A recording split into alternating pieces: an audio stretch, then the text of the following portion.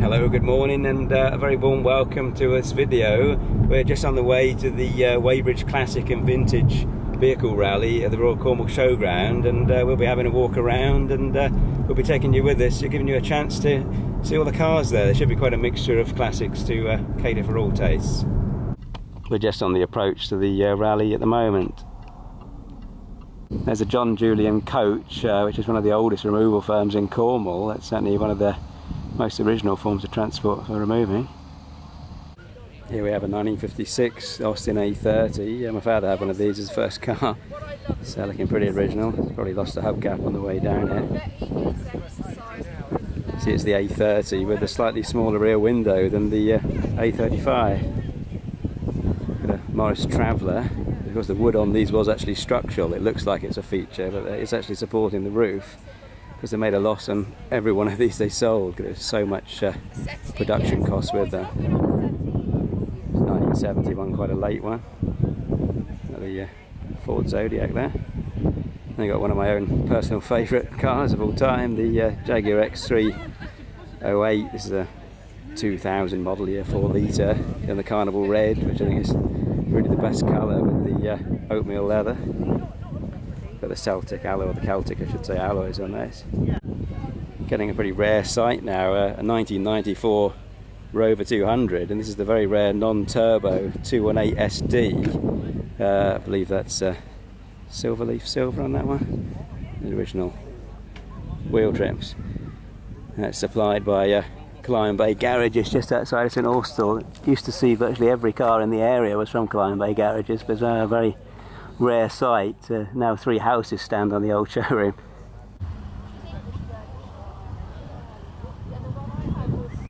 A selection of Ferguson tractors, and of course the Massey Ferguson there, the more recent one.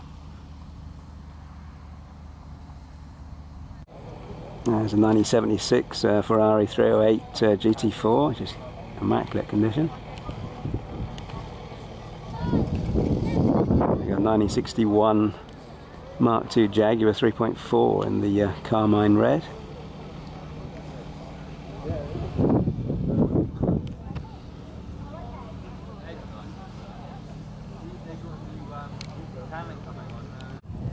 Yeah, 1970 E-Type.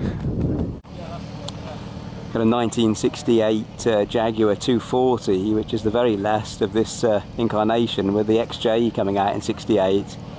So these are the single bar chrome bumper and the Ambla upholstery in uh, Old English white. And we've got a 8485 Capri 2.8 injection special.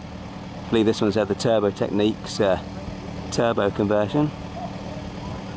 It's uh, possibly Caspian blue. It's a 1972 uh, Capri 3000E, which is uh, quite a rare and pretty valuable car these days. Another local one, of course, EAF, being an old Cornish number. Uh, 1947 Singer 9, very, very rare. Uh, 1988 uh, BMW 316, quite a rare colour, the local car originally. 1959 uh, Austin A35 van. It has some uh, rear seats fitted. I believe my granddad did the same conversion on the one that he had. Another local car, of course, a local van. 1964 uh, Daimler V8 250. Quite rare to see one of those in carmine red. It's usually the Mark II Jaguars in that uh, car. Yeah, I've never seen that sticker before. You got a caution when braking in the wet. Doesn't inspire a lot of confidence, but uh, things were a bit different then. Anyone remembers the old Top Gear where Clarkson broke from 60 in a Ford Anglia? Uh, it's somewhat different to braking at 60 in a modern car. There's a 1971, 1972 Rover P6, uh, 2000 TC. 74 Beetle Jeans, it's uh, one of the later ones. Of course quite famous for having the, uh, the denim cloth interior. Can't really see it through the uh, reflection there, but you give you an idea of the denim trim. Uh, Series 3 uh, Spitfire, I believe that was for sale for about 8,000, which is uh, about the going rate for these now. They seem to have gone up a lot in recent years. In 1987, BMW 316 in uh, Cirrus Blue.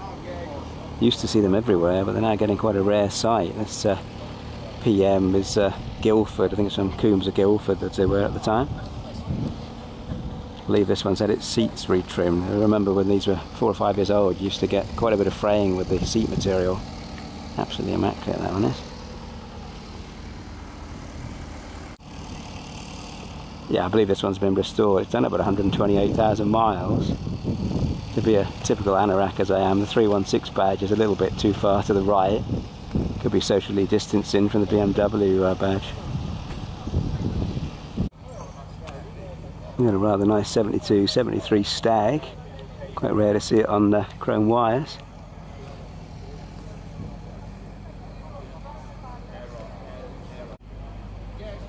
Nineteen eighty-two Talbot Alpine GL, uh, the Series Two. Only a handful of these left now, but they were a relatively common sight. Although they never really sold in the same numbers as the uh, Ford and Vauxhall counterparts. A 1981-82 Fiat X19 is quite rare these days. Original number plate. And uh, a 1966 Morris 1000 on the GRLD, which is an old Cornish number, so a local car. Traveller in the same colour. Also on the 66D.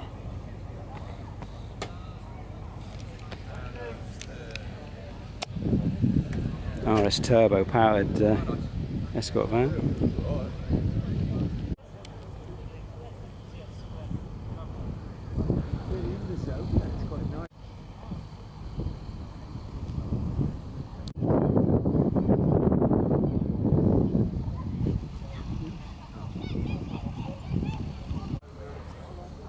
a very early Sierra here. They came out on the October 82Y. So this is literally the oldest plate you can get with a Sierra. 2 litre gear. Has the wheels from a Escort RS Turbo, I believe. It's only very rare to see one on a Y plate. It's probably Caspian blue. Got the crushed velour interior with the uh, with the gear. Got an early cup holder there.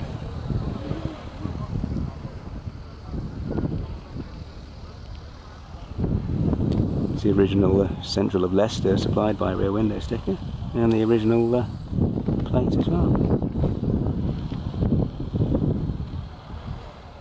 Vanden Plas 4 litre R 1965 and uh, 1977 78 uh, Dolomite Sprint probably quite famous from being used in the professionals before they had the uh, relationship with Ford Triumph Herald. And a 1971 uh, Fiat 124 Sport Spider, which is another very rare car. Mm, quite rare to see a E-Type in black there, 1968.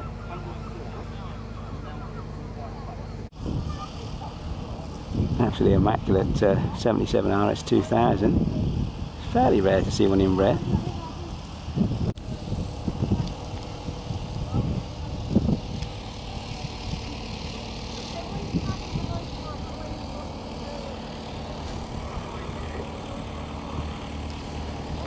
Now these are pretty rare now. The uh, Ford Orion, so 1984. I believe that's ocean blue. Father had a A-Reg uh, Sierra. That's the awful diesel 2.3 version. But uh, yeah, it's only uh, it's got uh, wheels that look quite similar to a Escort RS Cosworth maybe. Very very original. It's got the original Sandicliffe uh, large font plate. Quite an unusual font actually that is. 1970 E-Type. Uh, sure from memory this one's got a 5-speed gear knob which uh, almost looks like a Peugeot gear knob, possibly. Possibly a Ford gear knob.